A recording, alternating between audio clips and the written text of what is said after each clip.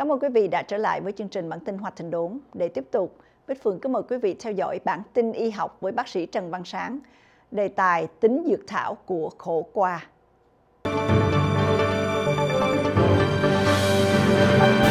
Xin kính chào các quý thính giả của đài CPTN ở khắp mọi nơi. À, tôi rất là hân hạnh được trở lại trong cái chương trình ngày hôm nay à, với cái đề tài gọi là tin tức mới về rau quả có vị đắng. Thì cái chữ của tiếng Mỹ là bitter is better. Đó là cái đề tài mà chúng ta sẽ nói ngày hôm nay. Thì rau quả có vị đắng có nghĩa là gì? Cái chất đắng thực phẩm hay là thuốc đó là câu hỏi chúng ta sẽ cố gắng trả lời ngày hôm nay. Thì từ xa xưa thì tổ y học Hippocrates đã cho chúng ta biết là thực phẩm là thuốc và thuốc là thực phẩm. Và ông bà mình cũng nói là thuốc đắng, thật sự nó giả tật. Đúng như vậy, và tất cả những cái thuốc chúng ta uống đều có vị đắng hết. Nhưng mà gần đây y học Tây phương đã bắt đầu nghiên cứu trở lại những cái chất có vị đắng và họ đưa tới một quan điểm mới gọi là bitter is better trong, trong những cái thực phẩm. Thì trong rau quả cái vị đắng chúng ta có rất nhiều trong thiên nhiên. Đó là cái đấng thượng đế đã ban cho chúng ta rồi. Có rất nhiều loại và có ba loại được nghiên cứu nhiều nhất hiện nay tại vì được sử dụng nhiều nhất trên thế giới. Đó là khổ qua bitter melon, cái thứ gì cà phê và số 3 là cacao hay là cocoa thì chúng ta chỉ có đủ thời gian để nói cái chuyện ngày hôm nay về trái khổ qua mà thôi. Và cái tên đi học của nó là Momotica carantia chúng ta còn có thể gọi là bitter melon, bitter apple, bitter gourd. Nếu quý vị vào trong Google chỉ đánh thì quý vị sẽ thấy những hình ảnh của nó. Nhưng mà nó được định nghĩa là nó là một loại lao quả rau quả. Tại sao? Rau và quả. Chúng ta muốn gọi nó rau cũng được gọi là quả cũng được nó là vegetable fruit.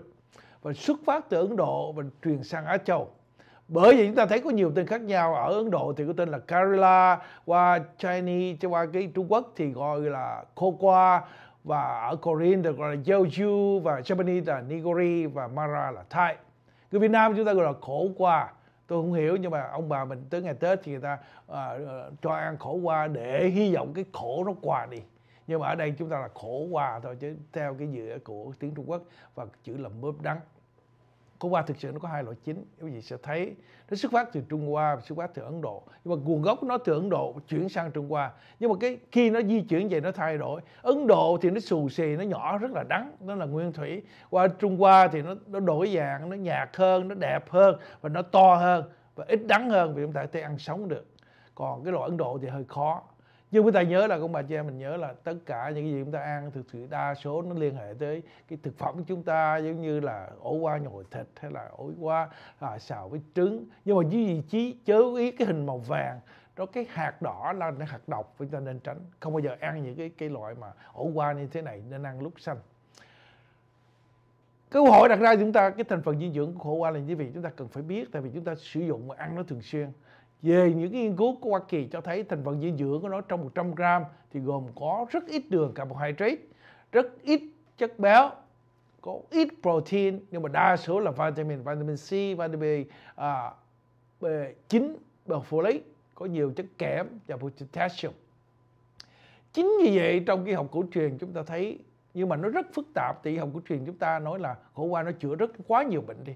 Nào là dạ dày, nào chữa thiếu đường, chống mối ho, chống ký sinh trùng nhân dân rất là khó.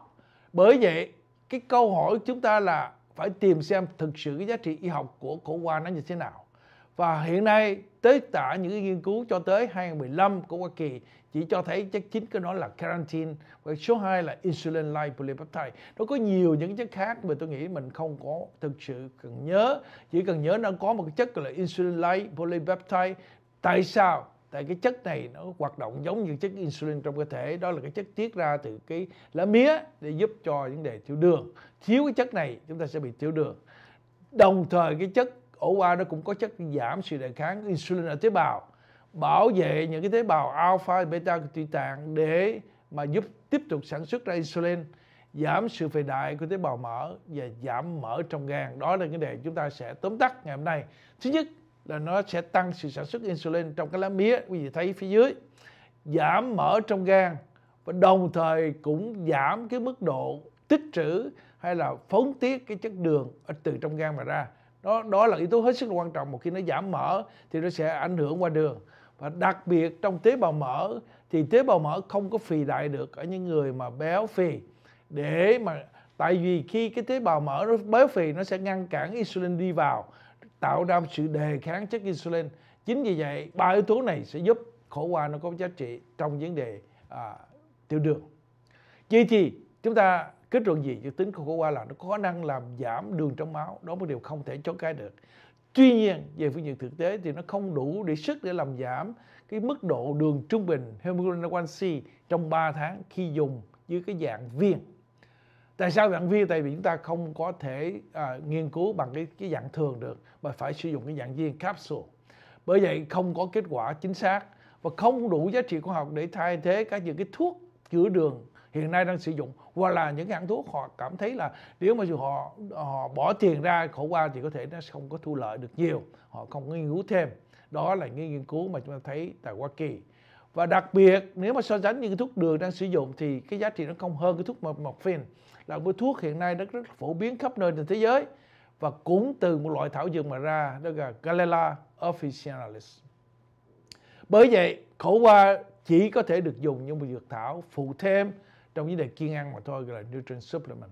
Và chưa rõ cái hàm lượng nào, khi nào chúng ta ăn bao nhiêu là đủ, bao nhiêu trái là đủ, mỗi ngày phải ăn như thế nào thì vẫn chưa có chính xác.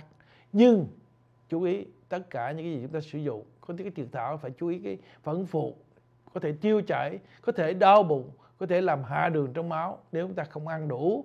Và đặc biệt cẩn thận khi có thai và có thể gây sảy thai hoặc là chảy máu hoặc là khi đang sử dụng tiểu đường quý vị khi ăn nhiều ở qua quý vị chú ý tại cái đường nó có thể xuống nhiều hơn.